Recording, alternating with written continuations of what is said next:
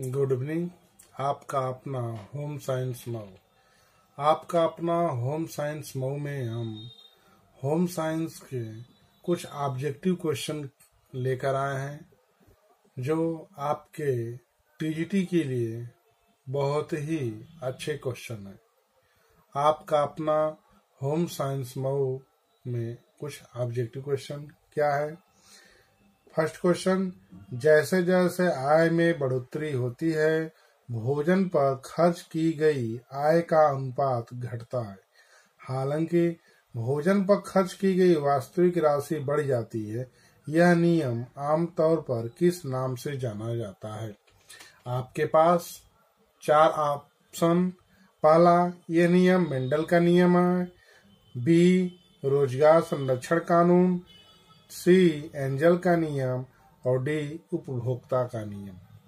तो आपका आंसर होना चाहिए एंजल का नियम। आप एक कॉपी बनाइए, उस कॉपी पर क्वेश्चन को नोट करें और आंसर लिखें।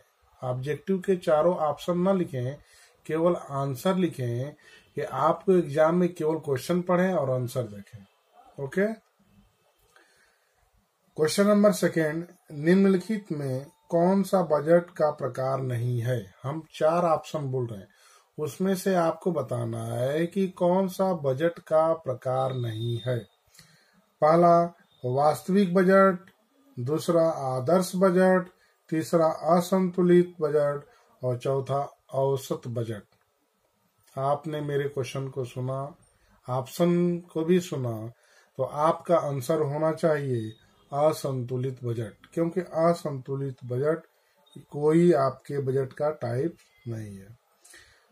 तीसरा क्वेश्चन मानसिक आय का संबंध मुख्य रूप से होता है। मानसिक आय का संबंध मुख्य रूप से होता है। मुद्रा से, संतोष से, काले धन से या उपरोक्त सभी से। आप सोच कर जवाब दीजिए, मानसिक आय का संबंध किससे होता है? तो आपका आंसर होना चाहिए संतोष से। कौन सा चेक केवल बैंक खाते में जमा होता है? कौन सा चेक केवल बैंक खाते में जमा होता है? पहला रेखांकित चेक, आदेश चेक, और तीसरा विकृत चेक, और चौथा वाहक चेक। कौन सा चेक केवल बैंक खाते में जमा होता है? रेखांकित चेक। अगला क्वेश्चन मासिक वेतन किस आय के अंतर्गत आता है? आपके महीने का वेतन जो आप पाते हैं, वो किस आय के अंतर्गत आता है? और प्रत्यक्ष आय प्रत्यक्ष आय या दोनों ए और बी या डी ऑप्शन इनमें से कोई नहीं। तो आपका जो मंथली वेतन होता है वह प्रत्यक्ष आय होता है। एंजल के उपभोग नियम के अनुसार व्यय की मदे हैं। व्यय की मदे कितनी है? तीन है, या चार है, या पाँच है, या छ है? कितनी है?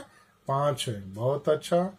आपका अपना होम साइंस मऊ में हम केवल ऑब्जेक्टिव क्वेश्चन को लेकर इस बार आए हैं।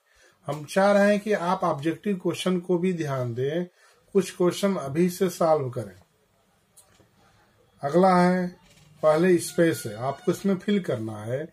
एक मूल्यवान साधन है जिसका उपयोग आय एवं व्यय के आवंटन के हेतु किया जाता है। किसका किया जाता है? श्रम का, बजट का, जनगणना का या संसाधन का। किसका? बजट का। वेरी गुड बहुत ही अच्छे। अगला है क्वेश्चन निम्नलिखित में कौन सी वित्तीय वित्तीय मतलब धन संबंधी।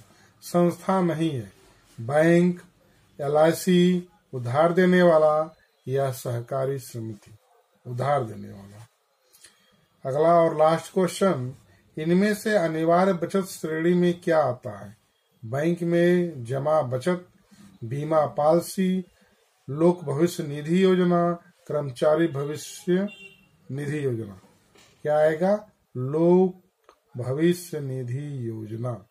आपका अपना होम साइंस मऊ में आज हमारे कुछ क्वेश्चन थे ऑब्जेक्टिव जो आपके एग्ज़ाम में ये क्वेश्चन आए हैं चाहे वो झारखंड में आया हो, या टीजीटी राजस्थान में आया हो, या जीआईसी का क्वेश्चन हो, इसी से रिलेटेड ये क्वेश्चन थे, ओके? तो आपका अपना होम साइंस में आज का इतना ही ऑब्जेक्टिव क्वेश्चन, ओके? कल फिर मिलेंगे नए क्वेश्चन के साथ।